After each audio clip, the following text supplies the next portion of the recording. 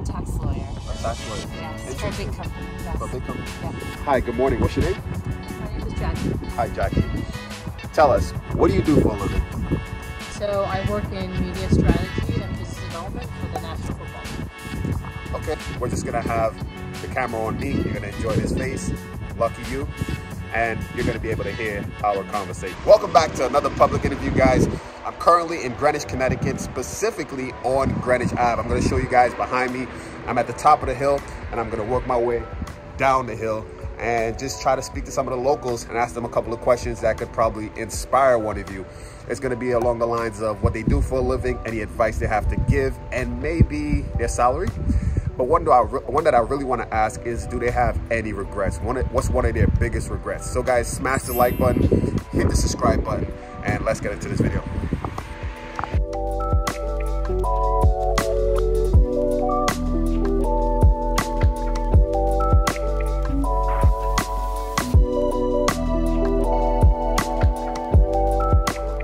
Hi, good morning. What's your name?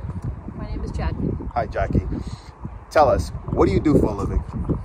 So I work in media strategy and business development for the National Football League. Okay, interesting. And what advice can you give for someone that wants to get into this field? My advice would be really just to talk to everyone that you can talk to. It's uh, sports is definitely a hard industry to get into. There's not that many roles available, and so it's a lot about just getting to know people and getting them to know your story and why you want to get the job. Sounds good. And if you like to answer, what's one of your biggest regrets uh, throughout your career? Um, biggest regrets. There's nothing that jumps out because I feel like I've been pretty lucky and intentional in my career thus far. I think, you know, more recently, I would say, you know, more recently became a mother, so that's just like a recent thing that I'm trying to balance and, and think deeply about is how do I balance the amount of time that I'm working, you know, and in the office versus time spent at home. So it's still something that I'm trying to figure out. Sounds good. All right, well, thanks for stopping and answering some questions. Yeah, sounds good.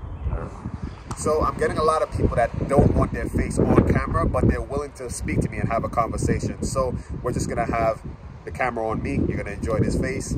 Lucky you. And you're gonna be able to hear our conversation. So hopefully you enjoy this content, guys. Smash the like button. Let's go.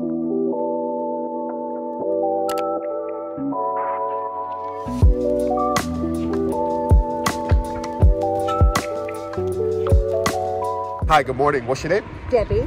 Debbie. So I have Debbie in front of me right now, but she doesn't want to be recorded. But we're gonna still ask her some of these questions that she's gonna answer. So Debbie, what do you do for a living? I'm a life coach and an artist. A life coach and an artist. What advice can you give for someone that wants to get into this field?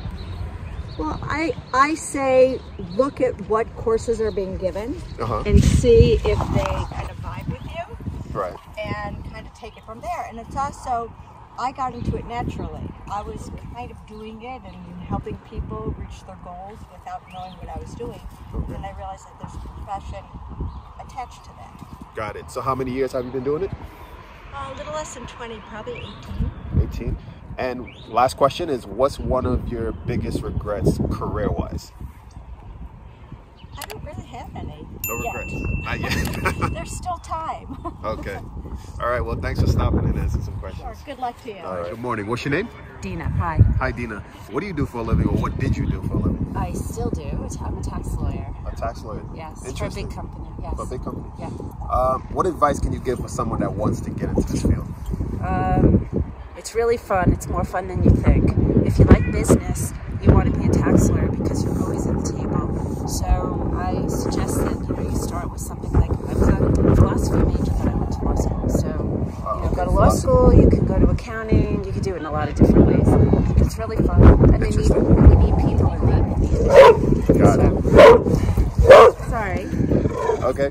And the final question is, what's one of the biggest, one of your regrets in your career so far? Um, um, I, I wish I could more people. I just started doing it later in my career. I think it's the best thing you could do is pay back, give back. Get back. Okay. Yeah. So just keep, you know, keep learning. Keep your mind open. Keep learning. Okay. Well, I appreciate you answering some questions and enjoy the rest of your day. Yeah. Take care. Thanks. Your name? Uma. Uma. Now, Uma doesn't want to be on camera, so we're just gonna have her, you know, listening. So, what do you do for a living? Uh, right now, I'm retired. You're retired. What did you do? I was in software development. And what companies? What was one of your, your best companies you worked for? I worked for HP. HP.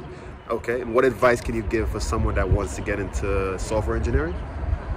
Um, well, I think that uh, if you have an interest in computers, Uh-huh. uh, I think you should pursue it.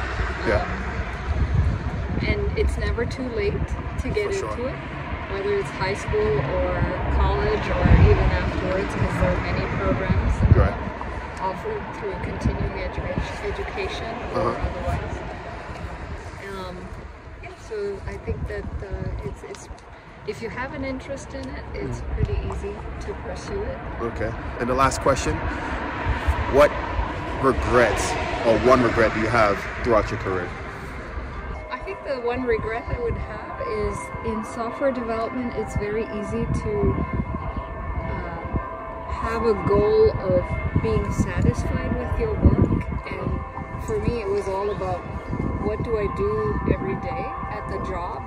And uh, so I sought interesting projects. I've worked in all segments, all industries. I have 18 plus years of experience. And when I think back, I think I didn't manage my promotions very well.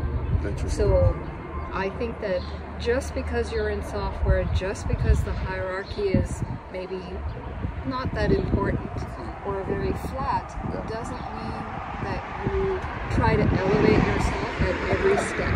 Right. Because I think that would be my regret is I didn't manage up. Right. I was very focused on getting the client satisfaction, getting you know good teams together and working on things that interested me. Right. But it's very important that you manage up and always stay focused on you know, you don't know. Eventually you might want to be in leadership roles. Yeah. You might want to get into a different branch like the business aspect of it. Right. And Which is you need I, to I enjoy the business part. and you need to have that flexibility.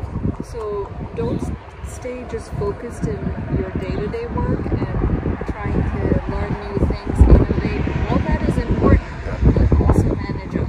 Right. All right. Well, I appreciate you answering some questions and uh, enjoy the rest of your day. So guys, I'm to end it here. Hopefully you guys enjoyed this content. Smash the like button, hit the subscribe button. Stay tuned for some more videos.